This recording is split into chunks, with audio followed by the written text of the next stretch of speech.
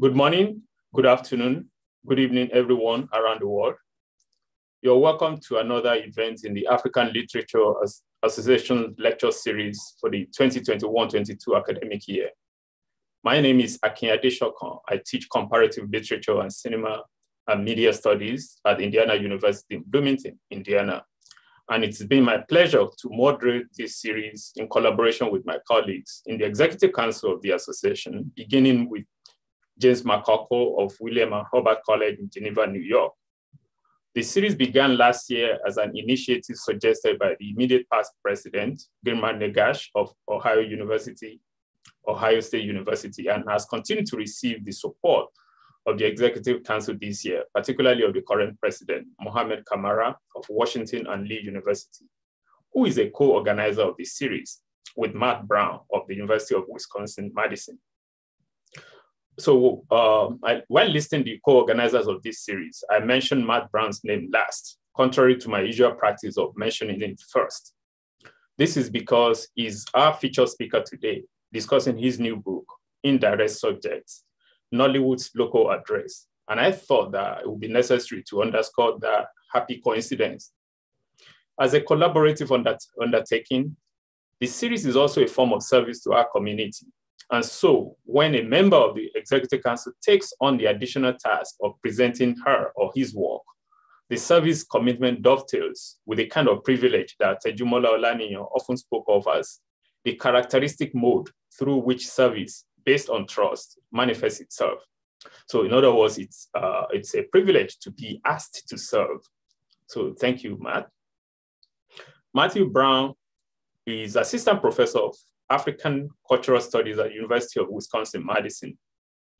His research relies on a range of cultural forms, including television, film, video, literary fiction, popular music, and popular fiction. Currently, he's working on two monographs, a cultural history of media literacy in Africa and a study of contemporary representations of global poverty. Brown's work has appeared in the Journal of African Cultural Studies, the Journal of African Cinemas, Black Camera, the Cambridge Journal of Postcolonial Literary Inquiry, and the Global South. As I noted earlier, his book, Indirect Subjects, Nollywood Local Address, published by Duke University Press in 2021, excuse me, is the focus of today's lecture. The book is a product of original research, written with very sensitive attention to the overlapping specialized roles that particularly screen media, have played in the emergence of Nigeria as a socio-economic force in the world.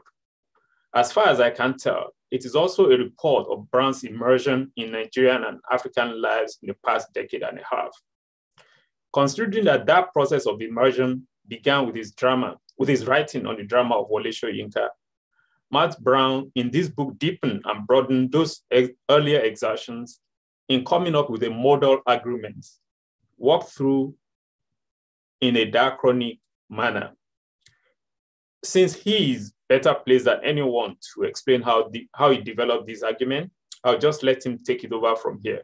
So over to you, Matt.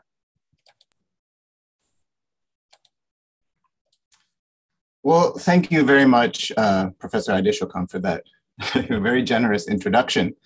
Um, good morning, good afternoon, good evening, wherever you might be. Um, you know, this is such a great honor and such a great privilege. Um, you know, to be able to speak um, to the African Literature Association about my book, um, you know, uh, but also to sort of, you know, feel um, the confidence of the association behind me. Um, in addition to Akin, I would like to thank uh, the ALA president, uh, Mohamed Kamara, for his brilliant and steadfast guidance during these difficult times. My sincerest apologies what I have said several what I have said several times is that um, I'm running both the um, live streaming software as well as my own presentation software, and it seems to have uh, crashed my computer. So let me Let me uh, say a few words of thanks very quickly, um, not as many as I had prepared, but thanks for your patience and understanding, number one. Um, I guess this is a good opportunity for me to say that one of the things I love about the African Literature Association is its welcoming environment. Um, it's always felt like a very inspirational place uh, to share my work and find interlocutors for my work. Um, and I'm relying on your gracious and welcoming presence today. Um, once again, I apologize for these delays. Um, uh, thanks to Professor Adesokan, thanks to uh, everyone on the EC. Uh, it's a real privilege to serve the African Literature Association. Uh, and nothing that gets done uh, by the EC is an individual effort. Um, and it's been such a pleasure to serve as part of that group uh, for the time that I have. I'm going to um, share my screen once more. Um, hopefully this will work well. Um,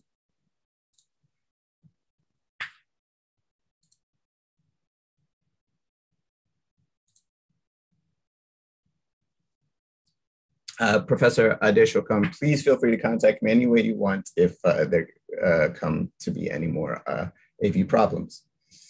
So Thanks again, everyone. Uh, my, presentation, my presentation today will unpack what I acknowledge is the rather opaque title of my book. Um, I will also cover some of my key arguments and a few case studies that illustrate those arguments. Um, and I'll discuss, you know, sort of why I chose to write the kind of book that I did. So let me begin with the title. Uh, this book opens with the following lines. Make sure I can display them to you. The title of this book is A Prism. By focusing the light of Nigerian screen media on it, three observable wavelengths disperse, illuminating Nollywood, Nigeria's commercial film industry, in different but complementary ways. Here, for an image of a television screen, I've used a photo from the promotional material supplied by the Ibadan office of the Nigerian Television Authority, the NTA, for its 20th anniversary celebration in 1979. That is the Ibadan office's 20th anniversary celebration. Later, I will discuss how it came to be um, that in 1979, state television in Ibadan was 20 years old, while the nation state of Nigeria was but 19 years old. Um, I will also discuss um, I will also discuss uh, the reason that television matters for my book um, the NTA Ibadan was originally called Western Nigeria Television, hence the WNTV uh, on this TV screen that you see here. And it, pri it prided itself on addressing its audience through a pedagogical modality, as you can see. It is this positioning of television in relation to its audience that I aim to explain in my book. Moreover, I'm interested in the relationship between television and commercial film in Nigeria and that relationship hinges, I argue, on the way that they both address themselves to their local audience. And so that's the reason for the subtitle of my book, Nollywood's Local Address. Um, yes, that subtitle is a play on words. I'm not searching for the location of Nollywood, where it might receive a package, for instance. Um, rather, I'm interested in how Nollywood addresses itself to what it considers its local audience. But let us return to the first part of my title if indirect subjects is a prism, then it has several meanings that can be disaggregated from one another, but also collapse into one another. As the opening paragraph of the book continues, at one end of the spectrum, indirect subjects are ancillary thematic concerns, the subjects of narrative exposition and contemplation that operate at a slight remove from the primary subjects of screen media texts. In other words, Stories, such as films and television programs, often have direct subjects, the things they are clearly about, and indirect subjects, the things they are also about, but not primarily or not directly. I hope that is pretty straightforward. Continuing, at the other end of the spectrum, indirect subjects are imagined spectators, members of a theoretical public addressed and positioned by certain examples of screen media in certain ways. They are invited by Nollywood and some of its antecedents, such as state television and colonial cinema, to participate in the process of subject formation, of being conscious, perceiving agents who are nevertheless subject to a wide range of material and ideological limits on perception, but they are invited to participate indirectly, both as central to and held at arm's length from the political and economic processes that shape the modern world.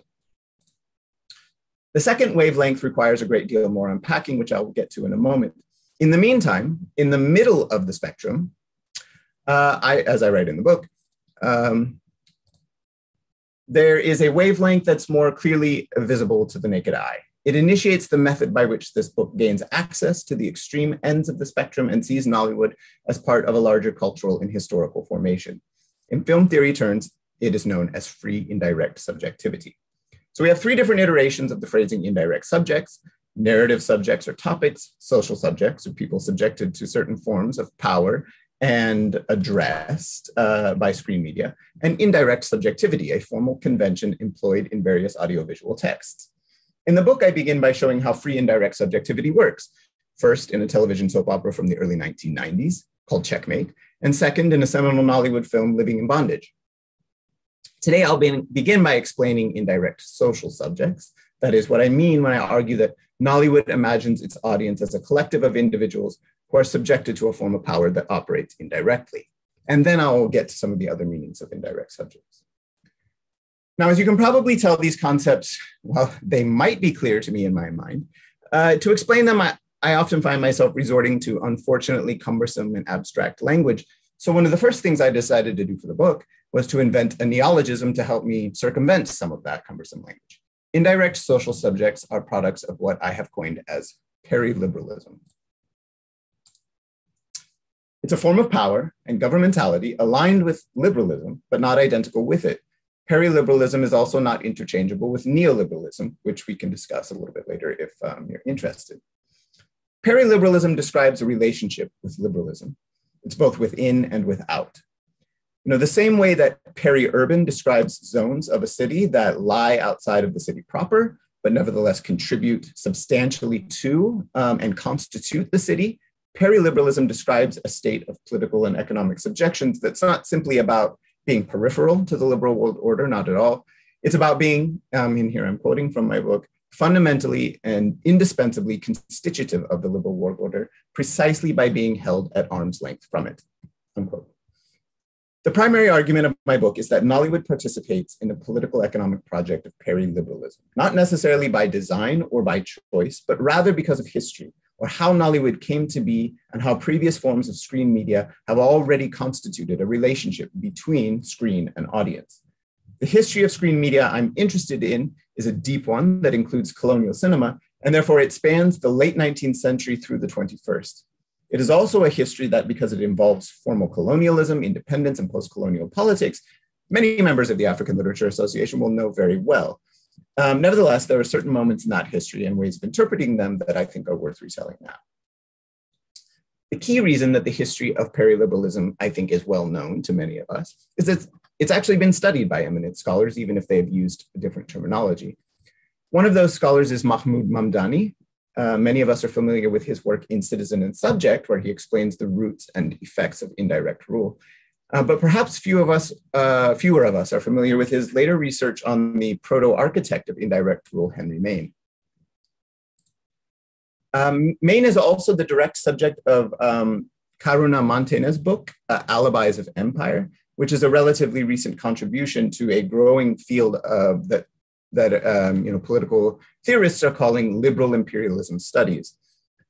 The question for students of liberal imperialism is how and why some of the most egalitarian rhetoric in the history of Europe, at least, that is, liberal political philosophy, arose at the same time as and participated in some of the most iniquitous practices in the history of the world, that is, the transatlantic slave trade and colonialism. Reading Mamdani and Mantena together, I show that indirect rule, as theorized by Maine and implemented in Nigeria by Frederick Lugard, and the ways it was extended through colon colonial film practices, um, was key to solving the contradiction between liberalism and imperialism at the time. While Maine was writing at the end of the 19th century, Lugard, the infamous uh, first governor general of amalgamated colonial Nigeria, put his ideas to work in the years during and just after World War I. He established native authorities and carved out zones of the colony that were politically, economically, conceptually, and even geographically separated from the various capitals and port cities where colonial administrations collaborated with their metropolitan counterparts. In short, indirect rule creates spaces where colonial subjects had reduced access to the liberal world order, whether in terms of political benefits or economic opportunities. So, how did this resolve the contradictions of liberal imperialism? Mantena calls indirect rule an alibi of empire because it was a way for the British to claim not to be at the scene of the crime. Whereas in the 19th century, British colonialism inspired several uprisings and, and revolts from Jamaica to India, indirect rule was designed to supposedly return political and cultural agency to colonized subjects, particularly in Africa. By governing themselves according to their own cultural heritage and in their own languages, Africans would be less likely to oppose the colonial project, or so the thinking went. This was supposed to reduce the imperial domination of colonized subjects while also reinforcing basic principles of liberalism. During the interwar years, British liberals gained political confidence by reassuring themselves that they were knowledgeable and respectful, even protective of the cultural specificities of various African societies. They understood their stance as a form of egalitarianism, an equal, if separate, kind of reverence for African lives. Of course, their separation of African lives from the liberal world system was not egalitarian at all. It also reinforced another foundational aspect of liberalism, of course, capitalism, the economic system that liberal political philosophy arose to accommodate and elaborate.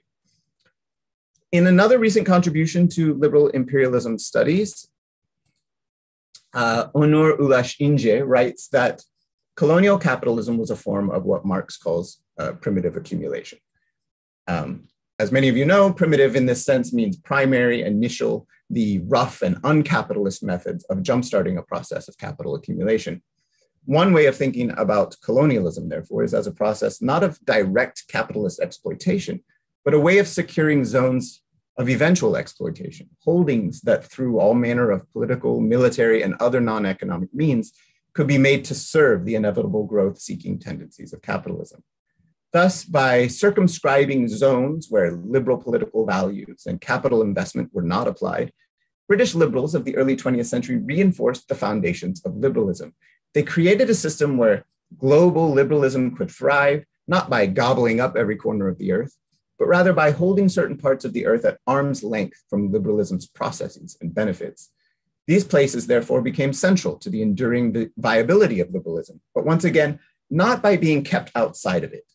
In the end, the primary relationship that many colonial, colonized people have had with liberalism is as indirect subjects.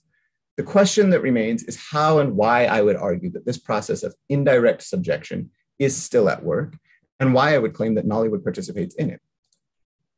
Let's begin with colonial cinema, which is part of a genealogy of screen media conventions that I want to link to Nollywood.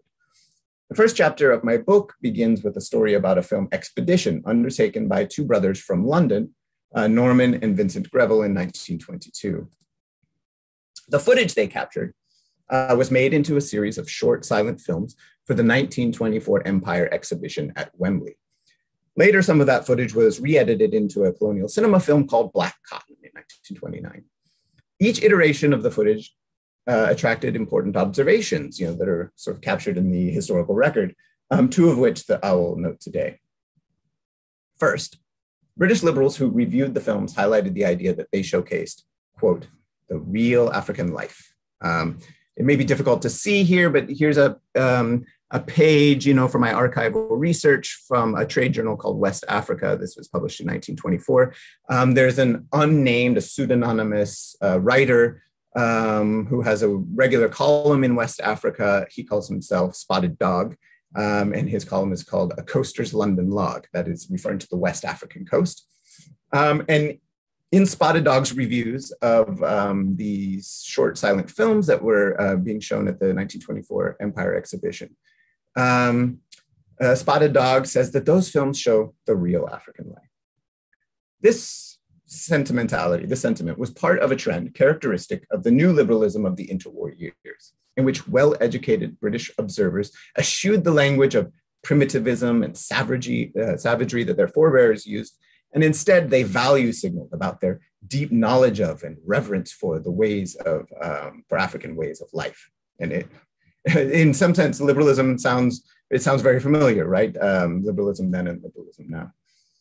Um, the films and their critical reception seem to have emphasized the importance of sort of leaving Africans alone to practice their various customs rather than transforming them into Black Britons as previous liberals uh, wanted to do. Excuse me.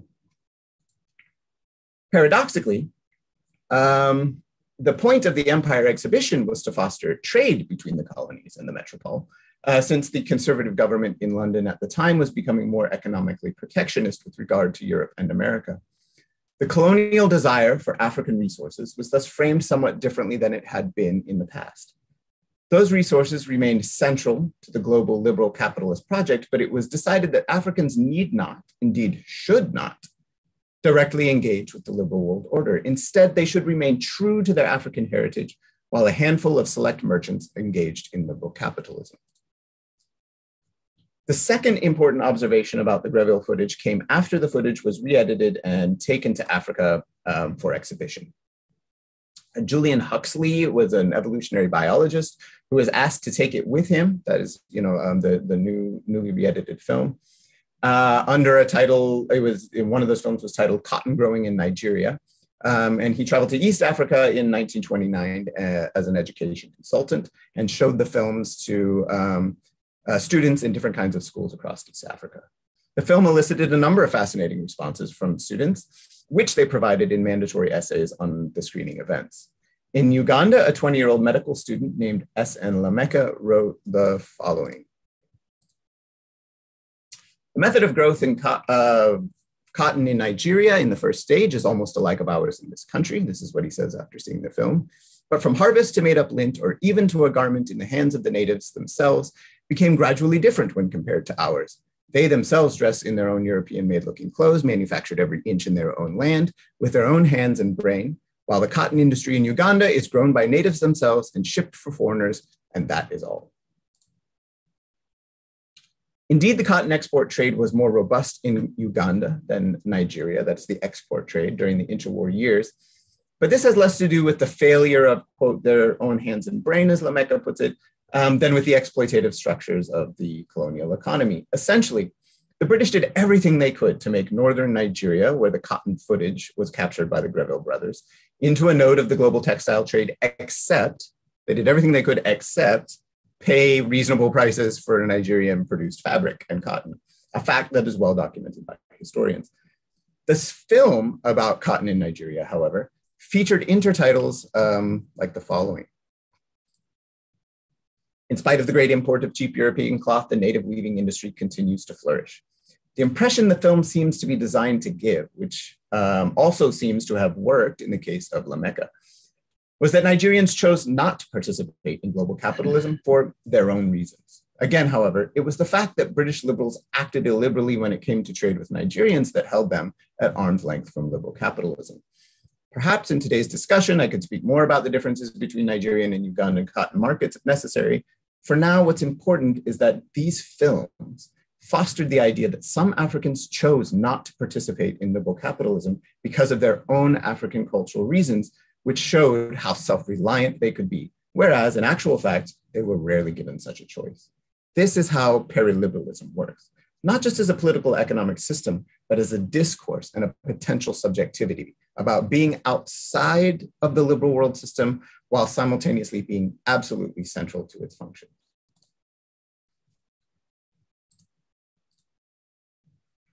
Now, it's also pretty well established that when television broadcasting was established in Africa, it inherited its social position from colonial cinema, like it or not. Where colonial cinema was designed to incorporate Africans into the modern liberal world order in certain ways, television was established by national governments to modernize Africans, you know, in other ways. The message may not have, the messages may have been very different, but the purpose of both screen media was to position Africans with respect to the modern world. Uh, Frederick Cooper, historian um, many of us know, describes the early post-colonial nation state, uh, you know, the government, the state, as a gatekeeper state, because it controlled the gate between the economic potential of the liberal world order and the various needs and interests of post-colonial citizens, right? Situating itself between what was going on out there and what people needed in here. In Nigeria, state television played a very key role in that process. State television was first established in Nigeria in 1959 in the now defunct Western region by Obafemi Awolowo's Action Group political party.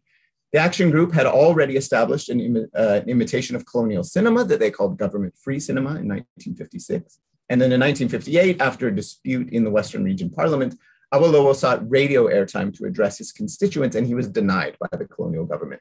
So his party spent the next year building a television station, which began broadcasting in October 1959, a year before independence from colonial rule. In my book, I focus on the careers of men like Adebayo Faleti and Segun Olusola to show that Western region television and later the nationalized Nigerian Television Authority were keen on fostering development in many of the same modalities as government free cinema and colonial cinema. In particular, I look closely at The Village Headmaster, the longest running television serial in Nigeria, which was created by Segun Olusola. And I hope some of you have, have seen it. You know, perhaps some of you have seen more episodes of it than I, because um, not very many, at least in my experience, remain. I argue um, in you know in the book that the character of the village headmaster this is the third one here this is justice esiri um, the great actor who went on to um, you know a, a, fantastic career in nollywood um, and who played the the third village headmaster um, cosmos um, ali Adirgbe ali.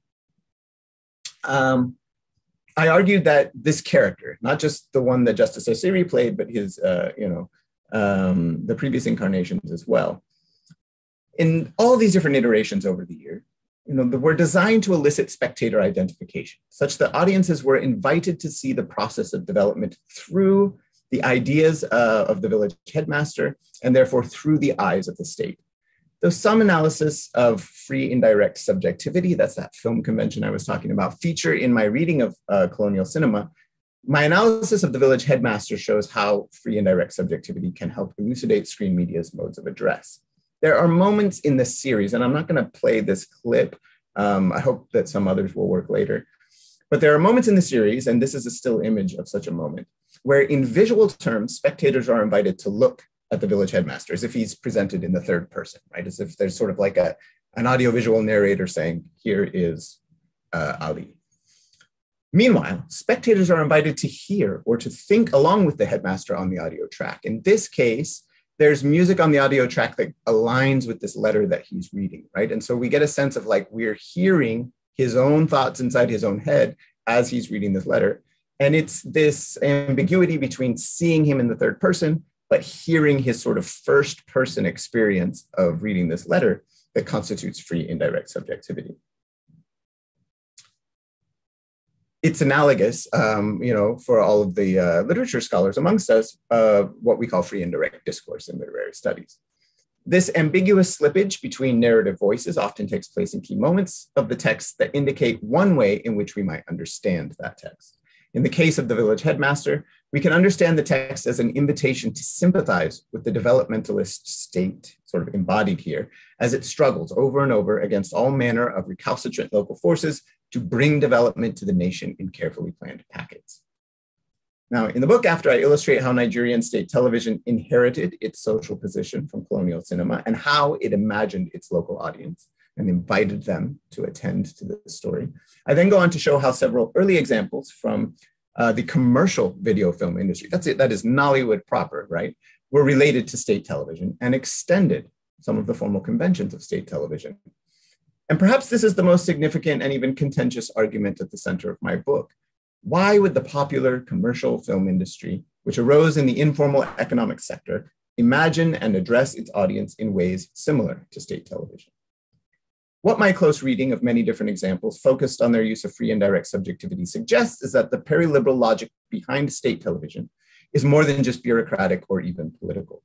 Peri-liberalism is the governing logic of a great deal of screen media in Nigeria, precisely because it is the governing logic of contemporary capitalism as it sort of operates in and around Nigeria and other parts of the formerly colonized world. The subjectivity of indirection is woven into the fabric of Nigerian screen media culture. And I hope that by providing a few examples drawn from four different chapters of the book, uh, I can sort of illustrate these points. So let's see if this clip works.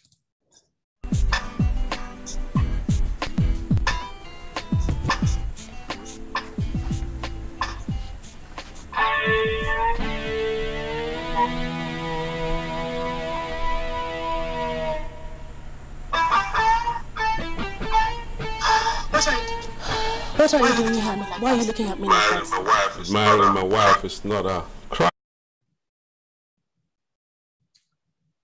Cuts off just a little bit there. Of course, he says, admiring my wife is not a crime.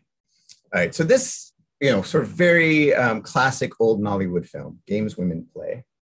Um, which you know came out in 2005, is doing a couple of things here, right? So free indirect subjectivity or attention to free indirect subjectivity helps here to, to help us realize that the film is sort of asking us to identify with Emma's perspective. Emma, the woman who lives in this house, um, and while this man claims to be her husband, um, this house is actually um, another man's house uh, who Emma's also married to. Um, uh, in fact, she thought that this man, uh, you know, pictured here by, uh, played here by Bob Manuel Udokwu, um, was dead. Um, but it turns out that he wasn't. It's a very melodramatic and interesting and convoluted plot. But here he is back, and so Emma actually has two husbands. And this beautiful house that she lives in, um, uh, which is owned, you know, um, uh, by her other husband, and that she's taking care of so attentively, um, sort of signals, you know, uh, uh, the good life, right? Of Emma's sort of um, achieving, you know, all the sort of markers of a good life. She has a perfect husband. She has a beautiful home. She has two wonderful kids. Um, what's happening in this scene is that you know her second husband here is actually threatening the order of that beautiful life and we are invited to see him through emma's eyes right so when she sees his feet and it, the camera pans up to his face uh, that's a point of view shot, clearly from Emma's point of view, but also the sound of that synthesized guitar sound, making what we call pinch harmonics. Um, that sound plays several times in the film, but it only plays when Emma's marriage is threatened in certain ways. You know, it's a long film with a lot of parts, but in those moments when her perfect uh, marriage is threatened, that sound plays. So it's there's a sense in which that sound is part of a subjectivity that is aligned with Emma.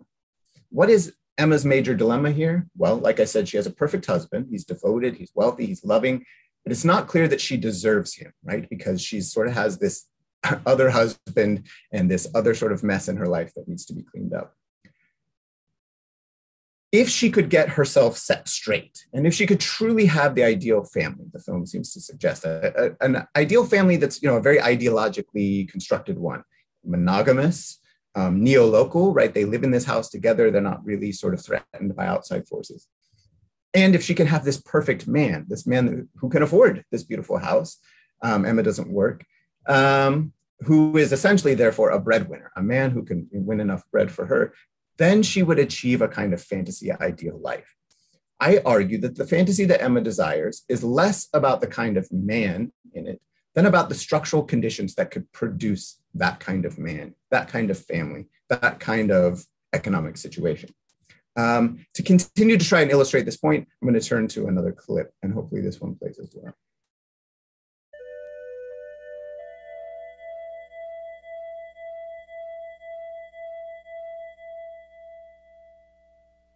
I've got to, I've got to leave you. The truth is that I love you. I know. I know. But I've got to think about myself. I've got to think about myself and the baby too. I don't want to hurt you. I don't mean to hurt you. But your people are monsters. But your people are They are monsters. wicked. They are wicked. What have they done to me? What haven't they done to me? Done to make them happy. What haven't I done to make them happy? So help. I have even so What more can I do? What more can I do? I will always love you, my dear. I will always love you, my dear.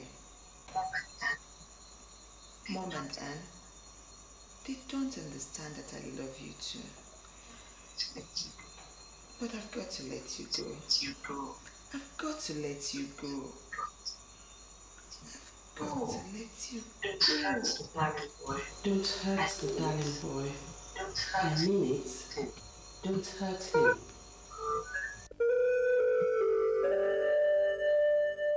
So I really hope that this is coming through. I can't be quite sure of that now. Um, I rehearsed this and it worked when I did. Um, you know, if not Ada here, um, who's not who's not the woman pictured in this um, um, in this portrait.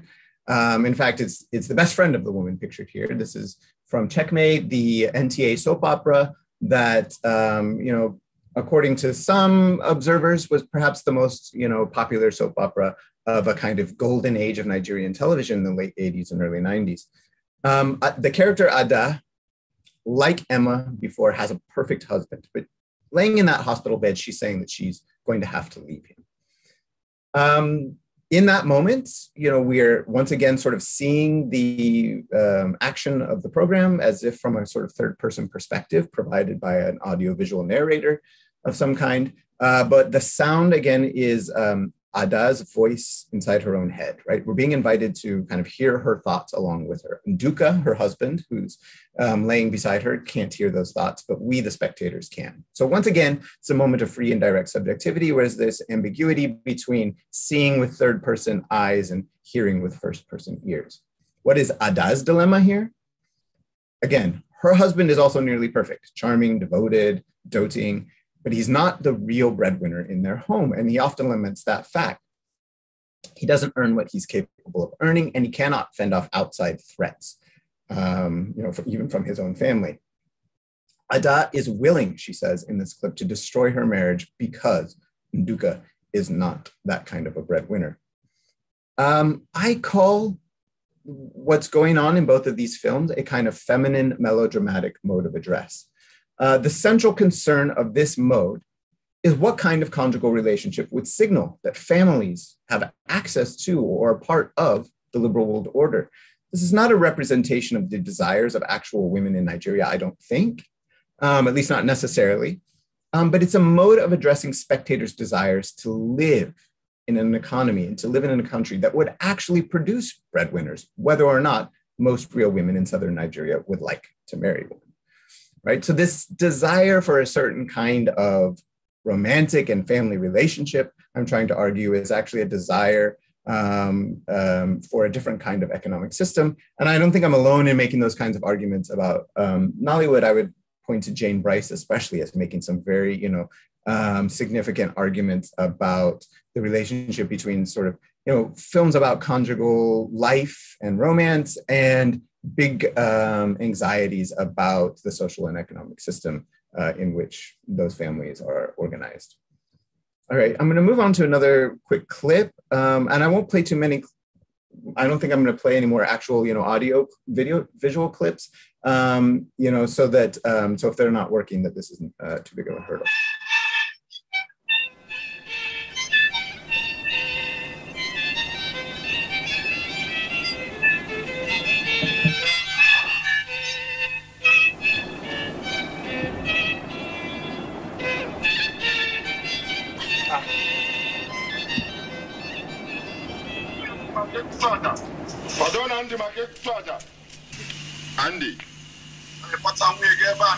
Ọzọ. Ya amepata nwunye gị ebe a na nzukọ ọzọ. Ị nwụọ.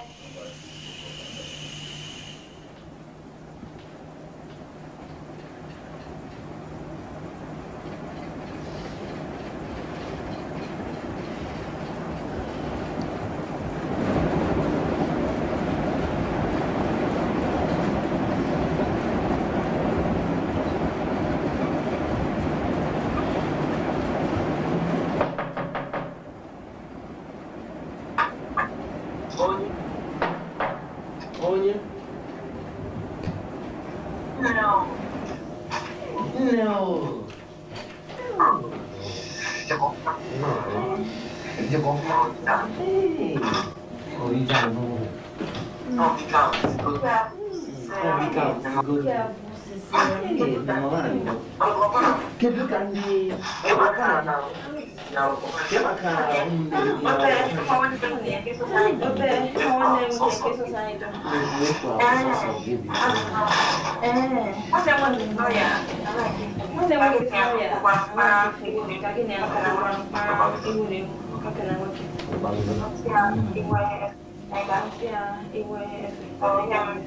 Thirty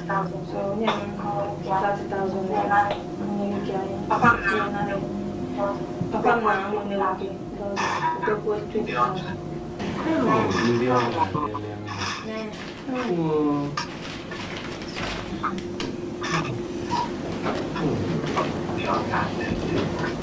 了解的嘞。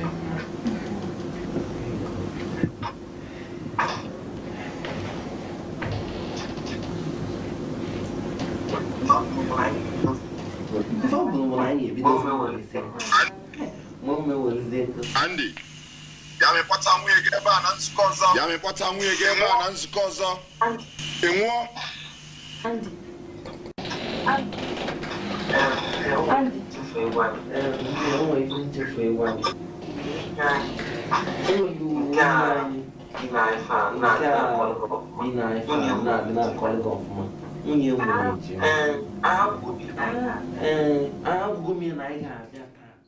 You know, by the way, one of the things I have attempted to do in the, the book is to um, you know describe these kinds of scenes you know in text um, and to really try and bring the reader into it you know sometimes shot by shot so that you can really see exactly how the audiovisual nature of the scene is constructed.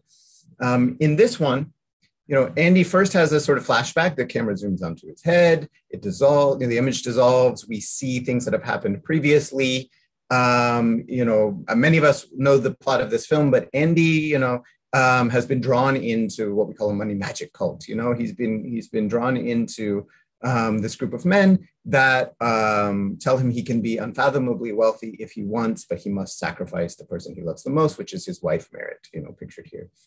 Um, he tried to pass off a prostitute as his wife in a previous scene, um, but um, but the the group figured it out.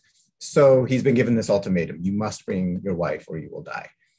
Um, that first flashback is again narrated sort of in a third person perspective. Yes, it's Andy's memories, but the camera, you know, very strictly speaking, the camera is showing Andy himself, right? Not, not showing the world through Andy's eyes.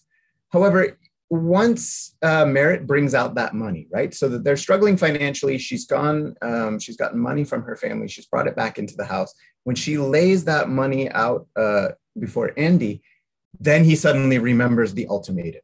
Um, and the argument I want to make is that there's a very you know close relationship between the money that Merritt brings into their house and then his remembering of the ultimatum and his choice at the end of this clip ultimately to follow through. And he does indeed take his wife to be sacrificed, and he does indeed become unfathomably wealthy, although he's then haunted by her ghost, you know, for the rest of the story.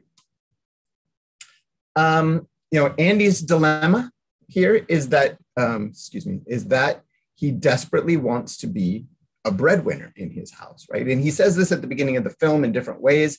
Um, that sometimes he says it very explicitly to Merritt um, and a woman that they call Auntie. You know, I want to repay you for all the things that you've done in this house. I want to be able to take you shopping. I want to be able to buy you things. Um, you know, Merritt, meanwhile, has a steady job as a secretary, and she's the one who's actually bringing a steady income into the home.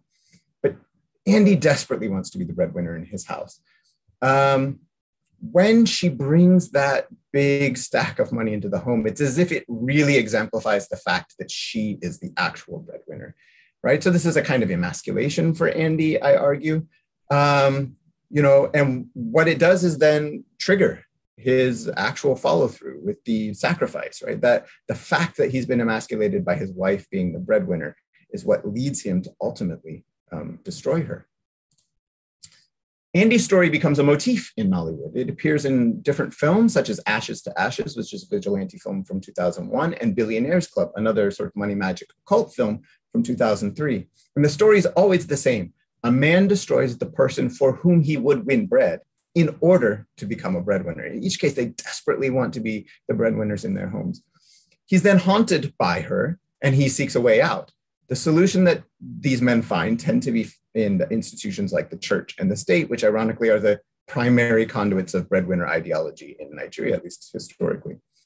Living in bondage, therefore, doesn't only ex, um, explore the same ideological problems as the feminine melodramatic mode, but it, it actually responds to the feminine melodramatic mode. That's um, the argument that I make. And so here's just a couple of images to sort of um, illustrate why I would say that. You know, Living in Bondage came out at the same time that Checkmate was on television in Nigeria, and as it was you know, this very popular soap opera. And many of the same actors uh, featured in both Checkmate and Living in Bondage, and they featured as very, very similar characters. So you can see, um, you know, I'm just going to let a few of them flash by you here, but you can see um, the similarities, right?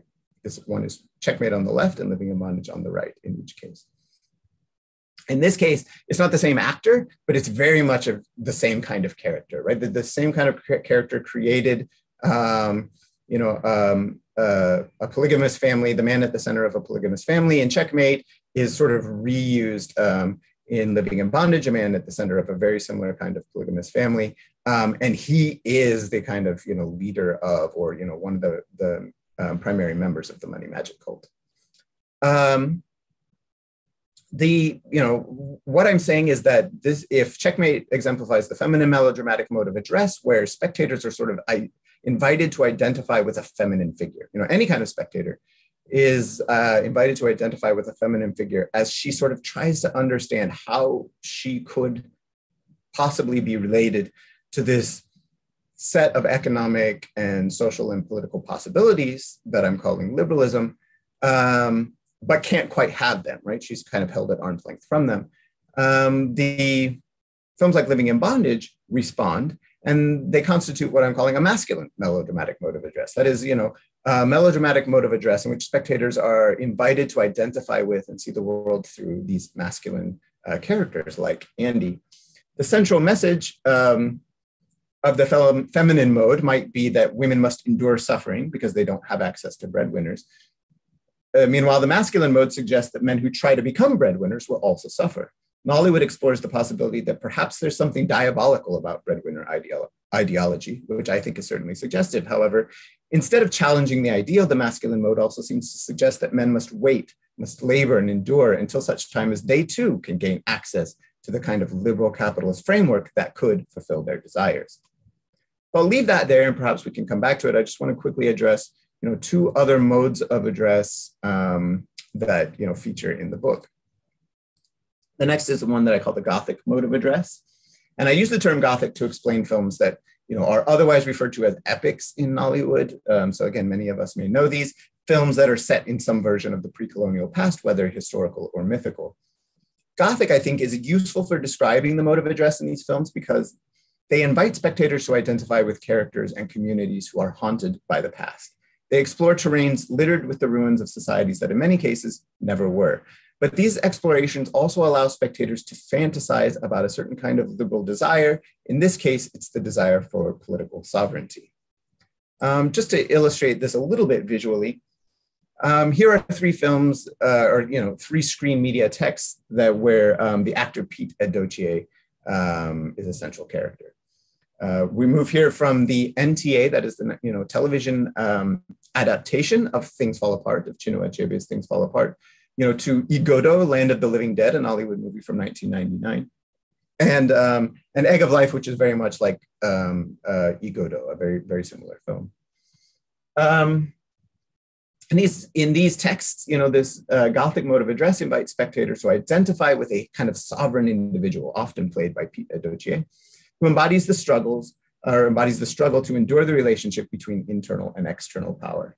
The NTA adaptation of Things Fall Apart, which aired in 1986, took Achebe's story of a community that was robbed of its chance to explore the limits of its own sovereignty and inflated that story into a hagiography of a martyred uh, sovereign. Uh, it sublimated Achebe's investment in Igbo republicanism and elevated Okonkwo to a near sovereign figure of power. Nollywood films further elevated Edochie style characters into actual sovereigns, often called Igwes. Um, you can see in the progression of these images, it sort of goes from, um, you know, Okonkwo, the character we all know, to Edochie as a Dibia. I know that's hard to see in the in the second one. To um, Edochie as an Igwe.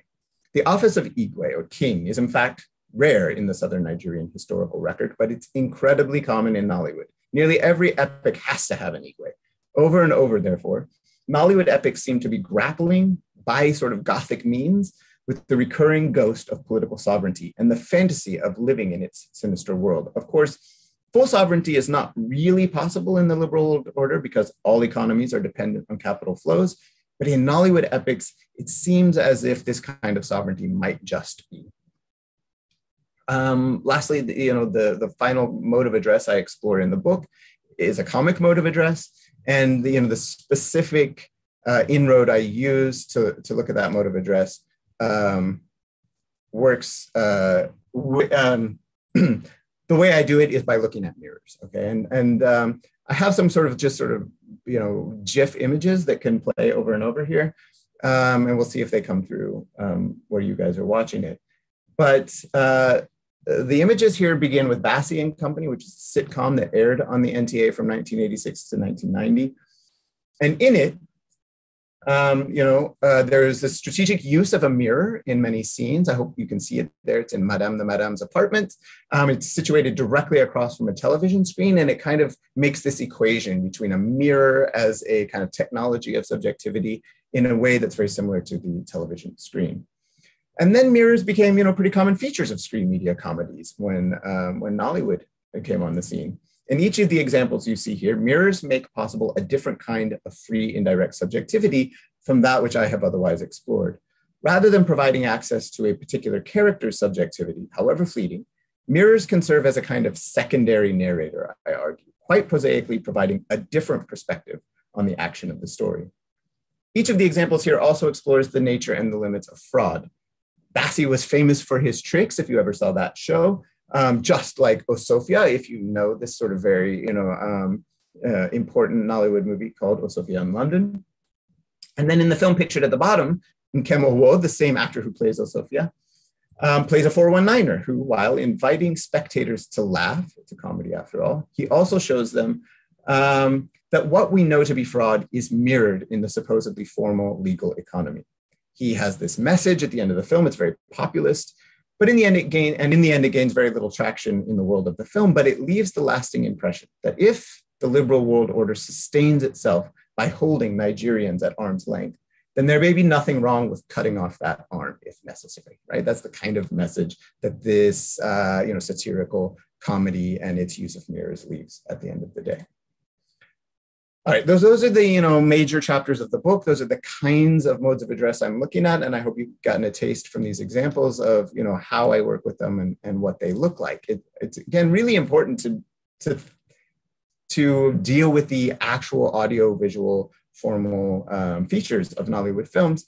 Um, and to do that in a book, you know, as I said, I spend a lot of time trying to explain those scenes really well, um, but it's always great to be able to see them when possible. So I'll conclude now. Uh, in this book, I framed several Nollywood films and television programs in terms of the way they participate in a certain version of the global political economy, which is, this is of course not the only way to think about Nollywood. Nevertheless, I feel that the study of Nollywood needs more extended, closely read and historicized attempts. And by extended, I mean, you know, book length projects to really dig deep into and historicize um, uh, the industry and attempt to theorize it, to theorize it deeply, and the kind of work that Nollywood performs for various constituencies. There are many aspects of the industry and uh, things about how it works and who propels it that we still need to study. Um, but I think without theories of Nollywood to build upon, to contest, to break down and remake, I worry that the industry will remain some kind of you know curiosity. Oh, how does Nollywood work? How do they make movies over there? Uh, personally, I would rather treat Nollywood as the massive powerhouse of sign systems that it is, and then attempt to understand how it works in relationship to other sign systems. My analysis will certainly never be the last word on the subject. Indeed, if you find my attempts unsatisfying, then I beg you to take up the call to better theorize and to better understand the world that Nollywood participates in creating and how it does so. I think Nollywood deserves it. So thank you very much for your attention, um, especially your patience um, through all the technical difficulties that I had. Um, I hope things are still working and at least relatively well. Um, and we'll do our best now to try and move on to um, having a conversation. I'd love to hear what your thoughts are and address any questions that you might have about Nollywood. And so again, it'll be a little tricky how I'll try to keep my eyes both on what I'm doing as well as what you guys are doing on YouTube. Thanks. Okay, well, thank you. Uh, and thank you, Matt, uh, for solving that problem. I know it's uh, quite tricky to be the uh, recipient of that moment and then also be the one to solve the problem. So thank you. And thanks to the audience for your patience. actually quite uh, helpful to know that many people were interested and engaged. I went on uh, YouTube to check and I realized that people were really eager to listen. So thank you. And um, so uh, we'll go to Q&A. Um, we uh, we had a have a lot to to think through in some of these um, ideas that you've shared with us, and I think that people are taking time to digest. I've seen a couple of questions, and uh, if I may, I'll just quickly ask one of them, uh, just so I don't uh, start by asking mine. And I have a couple myself, but I'll start with this one. It's from uh, uh, I believe, uh, Pelumi Olajimi, Folajimi, yes. And essentially, it's something that you said, and I guess his own way of responding to it is whether you actually want to explain how a commercial video industry, just as Nigeria, can uh, sort of work with uh, the mode of the television station, which is more public and like, especially given the history of uh, NTV, uh, as you said, was actually uh, generated or developed to address a public in a non-commercial mode, some kind of uh, ideological or what you call ped pedagogical kind of mode that the uh, ruling party in Western Nigeria, the Action Group, uh, put in, in, in, in motion in 1959. So is there something that you want to respond to uh, in terms of how you see the relationship between the uh, screen media system, that is television, uh, state television, and um, uh, and uh, Nollywood, what later became Nollywood, that is commercial video. Right. Yeah. Um, you know, um, from what I can also see uh, there on YouTube, um, you know, Pelumi, you know, raises a very important point, which is um, so uh, I think it's true that you know the that state television and, and Nollywood are, are different, you know, are very different things. Although um, you know, um, although in some ways the the amount of difference is perhaps a construction of my own to some degree, right? But um, but the question that he seems to be asking is is a very you know sort of more structural and and real issue, which is that you know if television um, constitutes, you know, um, its audiences in a kind of live way. Um, all the audience at a particular time. If you're not there at that time, you're not part of the audience. Versus video films, where you watch when you want to watch, and the, the screen constitutes its audience maybe just in you know one living room. Um, you know, does this matter for the analysis? And I think it's clear that the two things are different, and I would say they they certainly do matter. Um, you know, um, and I guess that's another way of saying just how different these two media are. Um, but at the end of the day, the, the way I see it, the way, you know, I've been thinking about it during the time writing the book, is that precisely because these are so very different, why would they nevertheless use these similar modes of address? Why would they still conceptualize their audiences as similar, knowing how, in fact, different the audiences might or could be? Um, and you know it's when i was seeing these similarities that i had to ask myself you know um, you know what's going on in nollywood especially what is going on in nollywood that it would um, you know have these messages about patience about waiting for your opportunity about abiding you know uh, in your situation before you can have access to the good life you know before you can have access to these things that seem to be a product of a certain political economy um, you know, so I acknowledge the importance of um, Pelumi's, you know, question. Um, you know, I think at the end of the day, then it was the, the book's purpose was to try and answer that question, that a similar question, you know, or, or um, related set of questions by saying, um, even if they are constituted in these different ways, both screen media seem to be saying that Nigerians, you live in here, and you're going to have to wait to get at least some piece of what's out there. And I'm not saying that again, this is how life actually works in Nigeria. This is how screen media are constituting, you know, a set of sign systems about how life might work. And it's a set of sign systems that's just remarkably similar to what um, state television had to say. So I, you know, I hope that addresses that distinction that he's identified at least somewhat. Okay. All right. Um, so there's a, a question uh, from uh, Joya uh, Razi, which is somewhat close uh, but also different. And uh, the question is, what do you think is the connection uh, between what we call indirect, uh, between indirect subjectivity and the ability or inability of audience members to return the gaze of the of the camera? Yeah, um, you know, this is a really important question again about whether or not just because um, screen media say something, uh, do audiences hear what uh, what they have said? Do they all hear it the same way? Um, do they, you know, um, and I'm being metaphorical here. You know, do they hear? Do they see? Do they understand? Do they have their own input, as she's suggesting? You know, do they resist or rework those messages and those images in their own ways? Certainly, they do. Um, and I, you know, I address in the introduction to the book the fact that, you know, as a scholar trained in literary studies and someone who's spent, yes, lots of time immersed in, you know, the world of Nollywood and and um, you know Nigeria, southern Nigeria, and popular culture and so on. Um, nevertheless, um, I, I don't really do audience analysis research. Um, you know, and so perhaps it's sidestepping the issue, but I think one important way of thinking through this um, is actually a sort of cultural studies framework for, for thinking about texts like this.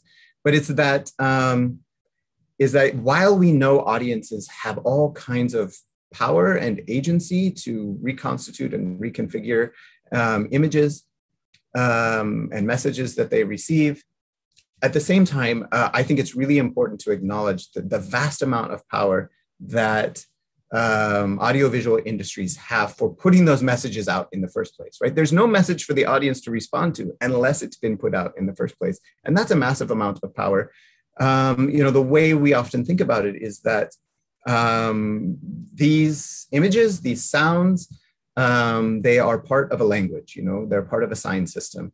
And languages and sign systems constitute our realities, no matter where we are um, right? The languages that we use to speak, the English that I'm speaking now, um, comes with all kinds of predetermined features to it. So yes, I can say anything, I can use it in lots of different ways, but I can't change, in some cases, many of the actual signs that I'm using to communicate with. And I think that screen media industries um, similarly constitute a set of signs, put them into play that, um, that then we end up using, that audiences end up using um, and even though they may use them in different ways, they have to use the signs that are sort of provided, right? They that the you know the way that cultural studies scholars like Stuart Hall have framed this is that um, you know media images constitute our realities, right? That there's there's in some sense no reality except that reality that we access through various kinds of signs and sign systems, or at least there's no reality that has any meaning to us um, and and so it's it's that way of putting into play the very signs that will shape our reality or shape the way that we derive meaning from our reality that I'm trying to deal with here. The you know Nollywood, state television, colonial cinema, they have put these certain things into play, um, and and even if audiences can reconstitute them in certain ways, um, it's really important to deal with the you know the, the initial power that those screen media industries have of determining the sign systems that, that we're going to end up using. So that's how I would respond to that question. Okay, all right. Excuse me, thank you. Thank you for that. Um, there's a, question from Medchev, uh, and I actually have something related. So uh, I'll ask this question and maybe find a way of mine in. I hope uh, it works, but if not, I'll ask it separately. So the question is whether you can, uh, uh, could you elaborate on the divergence or convergence uh, if any, that is, between peri-liberalism and the informal system? So it's a straightforward question. And my own, which I'll just ask and uh, talk to you whether you want to answer them separately or build them together, is um, I actually don't quite understand the distinction you made between peri-liberalism and what uh, dependency theorists uh, try to characterize as peripherality. Mm-hmm. peripherality. Yeah. And you said that it's different. And uh, I mean, even reading the book, the way you try to sort of talk about how the classic Marxist from Leo Trotsky conception of uh, uneven and combined, combined mm-hmm. and uneven development, that it's always been there. You know, this right. question of the relation between the metropole or the center and the periphery. And so, what? How do you make that distinction? If you can just maybe for my own purpose, uh, on uh, explain that. And so, I don't know. These are perhaps two different questions, but if you want to take them together, that would be helpful too. Yeah.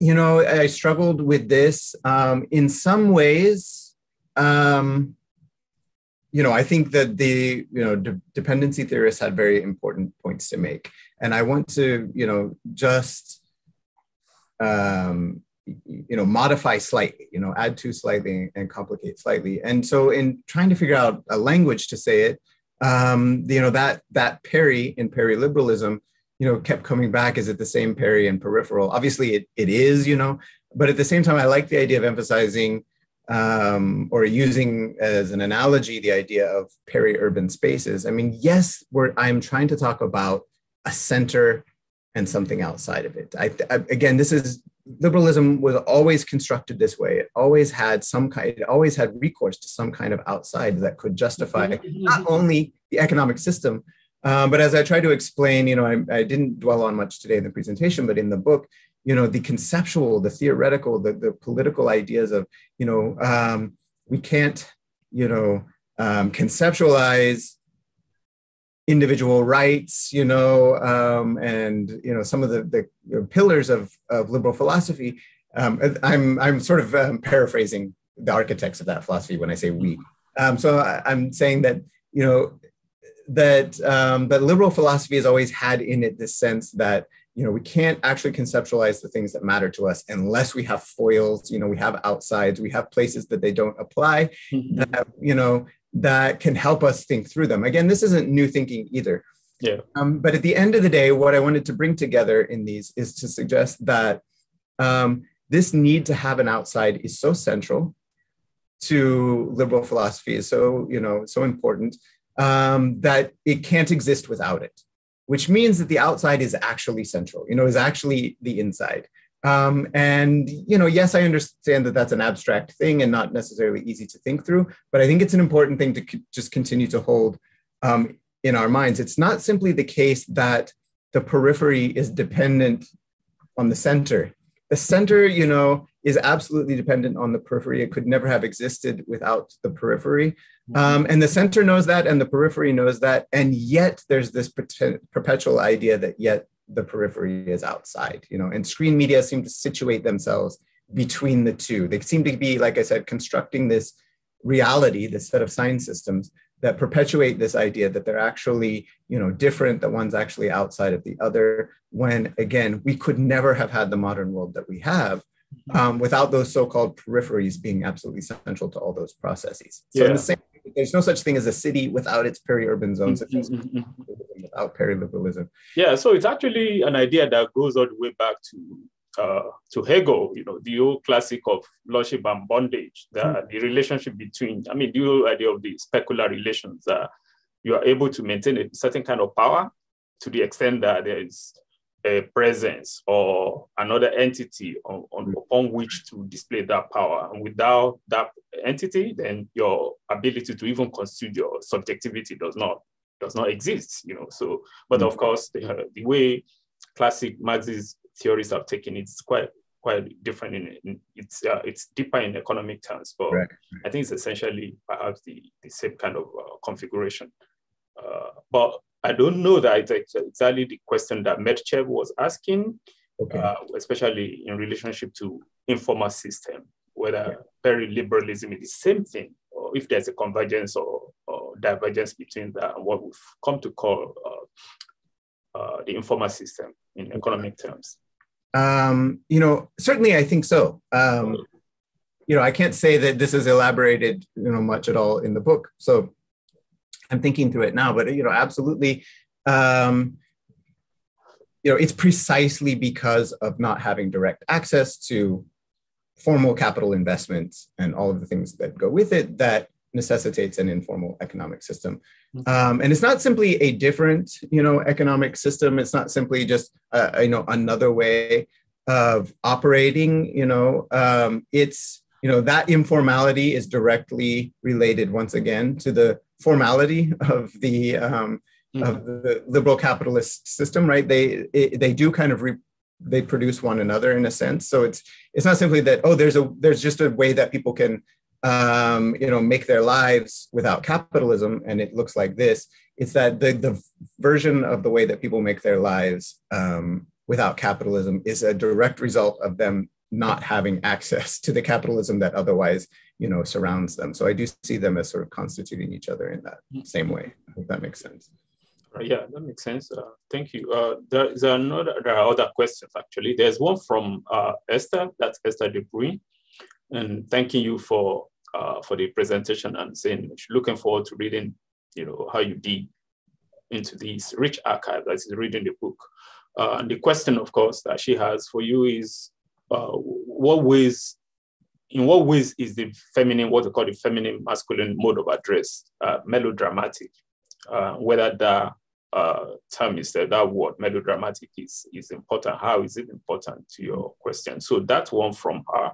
Mm-hmm. And just to let you know that there are more, there's another question from uh, Moradewun Adejunmobi, uh, uh, Skin, that perhaps this is perhaps outside the scope of your research, but whether you can think of other instances of free indirect subjectivity in other African screen media uh, outside Nollywood.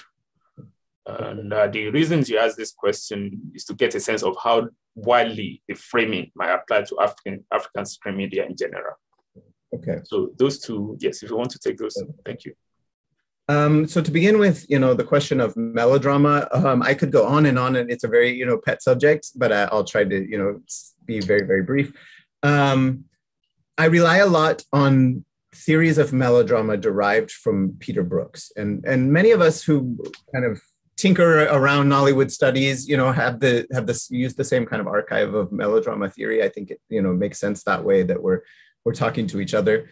Um, and so, you know, Peter Brooks, you know, is a, is, is a seminal theorist of, of melodrama, writing about, you know, um, print literature.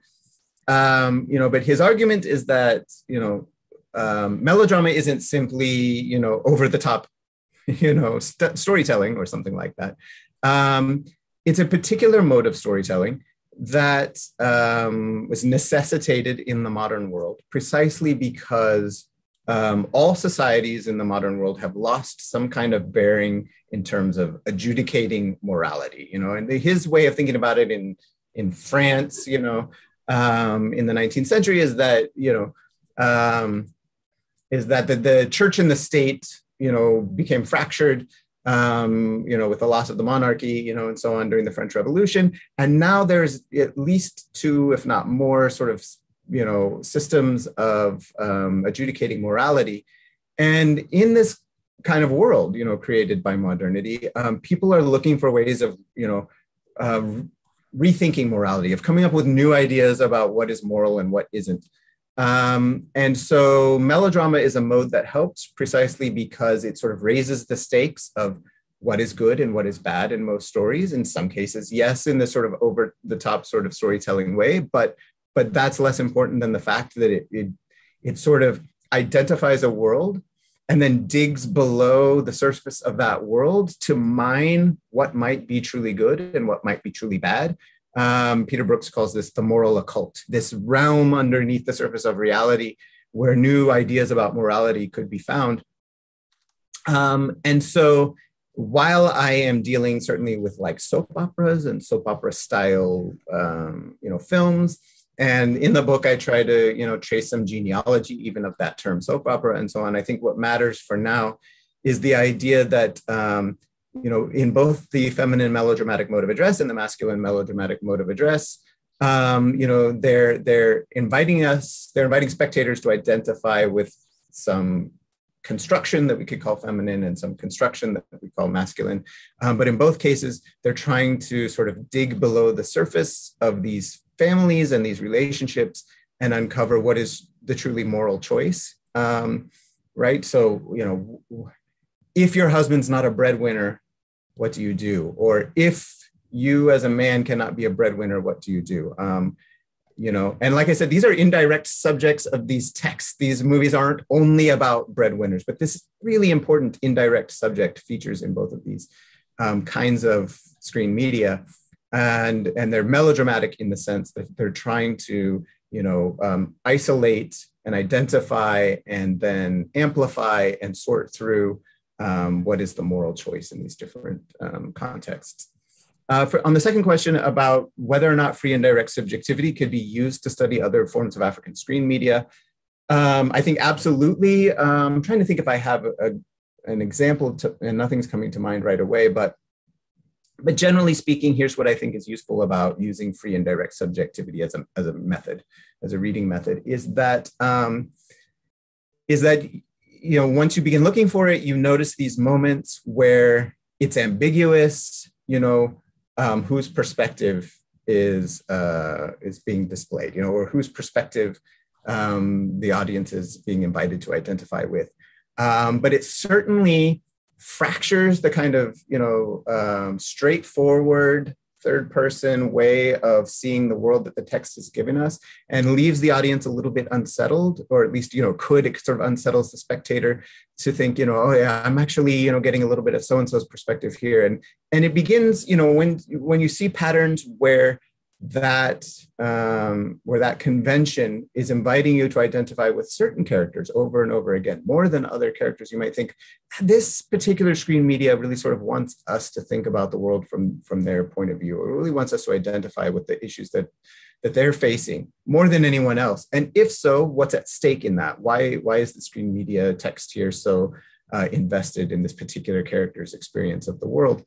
Um, and so then I, I think you know. Um, again, these aren't these aren't the big, obvious, clear choices that the filmmakers have said to the audience, here's how I want you to know my film. These are, you know, critical interpretive frameworks, but they're ways of sort of getting at the edges and the silences and underneath and around some of the things that are going on in text to see what other ways they're inviting us to, to know and think about what's going on. That's why I call the, the topics that they raise indirect subjects from the direct subject of the text. But I think these indirect subjects can lead to even deeper and more nuanced and more interesting you know theories about what the text is trying to say and what matters to it and there may be cases where the filmmakers are very aware of how they're inviting uh, audiences to identify there may be places where that you know it was unintentional but the fact of the matter is that the text exists now and it is talking to audiences mm-hmm. regardless of what the filmmaker intended um, we should be open to some of the things that the text might be saying to audiences that aren't obvious, you know, and this is one way of getting at some of them. Yeah, there's actually, um, I mean, while listening to these and also reading uh, your book, actually, uh, my mind went back to uh, an addressive mode in photoplays, which were based on comics. And really, they often use thought bubbles so that, you know, so I mean, I don't know whether it's exactly the same thing, but it's actually a way of articulating a perspective that is neither available to another uh, member on the, you know, to another character on the screen or on the page at that moment, but which this particular character is uh, has, you know. So and sometimes in fact they use what we might call some kind of soliloquy, but it's kind of different. And the way it was represented in text in uh, in photoplay was essentially through thought bubbles, and perhaps it's a similar kind of uh, uh, practice. And, uh, and I've actually got a, some kind of feeling that perhaps that's when Nollywood began to develop that this this mode of address. Yeah, sure. Yeah, you know, when we talk about free indirect discourse in literature, you know, we talk about those moments in a text where there aren't quotation marks you know it's not clear that the character is speaking and yet it's as if the character suddenly takes over the job of, of the narrator. And yeah. so it's interesting and similarly in any kind of text to think about at what point does it this same sort of taking over or this ambiguity seem to happen where it's where you're not sure is there two people narrating the text at this moment? Is it a jumping back and forth? Is it you know it's that freeness of it and the indirection um, that can open up space to think about what does that text think about its audience and what does that text want its audience to, to experience in this particular moment. Okay. All right. Um, looking for more questions. So uh, none is coming for now, and we have a few minutes. So I want to actually ask this question too, mm-hmm. which uh, came out. I think I saw it in a fairly long footnote in the book. It's something that's always been part of uh, Nollywood uh, criticism this is the question of the relationship between what we call the southern Nigeria, and that's the focus of your own research, yeah. and of course, Kannywood. Mm-hmm. And the way it's often be presented is that the mode of address in Kannywood is different, and perhaps perhaps not always helpful to think of um, both of them, both formations uh, as one, uh, or what we might call monolithic. But at the same time, and I've, this is the, the point I'm trying to raise, that now since you the the kind of theoretical um, idea that organizes, or even political idea that organizes your discussion, especially through indirect rule, which actually was uniformly applied with, with of course, uh, frictions within Nigeria. Yeah. So with that kind of grid, with that kind of political grid coming from uh, Lord Lugard, who actually first did it in the North. So is there a way that even with the former uh, commercial or structural differences between Kannywood and Nollywood? Is there a way to actually begin to think of these as Nigerian forms and thereby think of, yeah, while allowing those distinctions, but also be able to think of them in a more uh, integral manner uh, because Nigeria exists with all the problems that we have and all of that. So I wanted to hear your response to that. Yeah, it's a you know such an important question. Um, I mean, the the part that you know and, and others you know here will will know too is is that um, you know sometimes we make the analogy to India. Um, one way we could say it is that there really are multiple film industries in Nigeria. Mm-hmm. And there's this question of does Nollywood apply to all of them or only the English language, you know, industry in the South? Um, and it's an unresolved question, but one that we each sort of, you know, situate ourselves in somehow before moving forward with work um, that we do. Uh, in this case, yes, I've gone forward with the idea that I'm restricting myself to those, you know, English, mostly English language films um, from southern Nigeria that sort of have this relationship to state television, especially English language state television. And not all state television was in English, but a lot of it was, um, especially those big, you know, national broadcasts. Um, and and thinking about what that very like globally oriented version of you know Nigerian filmmaking, you know, thinks about the world. Um, when it comes to you know northern Nigerian films, I mean, there's the practical issue of how many of them more and more they're subtitled, but in the you know old days they weren't necessarily. And if you don't have access to a lot of Hausa, um, you know, sort of working with them, um, there is you know the fact that that aesthetically they have their own conventions. They're very different from Southern Nigerian films and so on. But I think you're absolutely correct in the sense that um, there's there is an absolutely a um, conceptualization of what it means to be a Nigerian going on in those movies and a Nigerian in relationship to the rest of the world. What I think is potentially really stimulating about a research agenda that would that would probe that you know more fully um, and that I'm not sure I'm necessarily placed to do, but possibly. But I know you know many people who are you know such as Carmen McCain. Um, although I don't think she would have the same interest, the same theoretical interest, but nevertheless, what what I'm getting at is um, is that I, I would doubt that if you looked very closely at a lot of those films, that the orientation to sort of liberal capitalism is the same. I, you know, I don't think so, right? So this would really complicate, you know, there's a sense in which perhaps Southern Nigeria looks out to the world in a particular way um, versus the way that Northern Nigeria looks out to the world. Um, you know, especially with Northern Nigeria's interest in, you know, Bollywood film conventions, um, but also just, you know, its interest in other centers of capitalism in the world. Um, you know, other centers like Dubai or, um, you know, in Saudi Arabia or something like that. There's a way that um, that both film industries, and I, I think they're different industries, but they're part of the same massive cultural complex, you know, national cultural complex. Um, and they're looking out into the world and sort of um, processing it in different ways. And I don't know, I don't have any more sort of specifics, I think, to lend to the, the thinking about how I, how Hausa language films may be processing that sense of the world. Mm-hmm. Um, but I think it would be somewhat different from and perhaps even more complex than the way I have characterized, you know, the Southern Nigerian film industry's conception of the world. Does that make sense? Yeah, it's it's a very important distinction, and it's really very. I mean, of course, it also builds on the way Nigeria is. In fact, you know, with all the fictions and frictions mm-hmm. on the on the political front, so it's actually quite a legitimate distinction to make. Yeah. And, uh, so, thank you. Uh, we're actually at the end of our time, and uh, also, uh, as it turns out, not many questions are coming anymore. So I think ideally this would be the time to give uh, you a break. And thank you again for presenting this. It's very, very stimulating work. It's very important work. And as I said, when you and I were sort of chatting up at the beginning, I really, really hope that this book that a book that people take very seriously because it's a very serious book. And thank you for doing it. And thanks for advising and advancing our, our, discourse in very serious in a very serious manner. So uh, enjoy the rest of your day, and uh, next time you will be able to do this without uh, any kind of glitch uh, from a technological yeah. point of view. So thank you, Matt, and thank you, audience, for your attention and for your support. And we'll see you next month. Uh, have a good weekend. Thank you. Bye. Bye. Thank you, everyone, and thank you for bearing with me. Have a great day. Okay.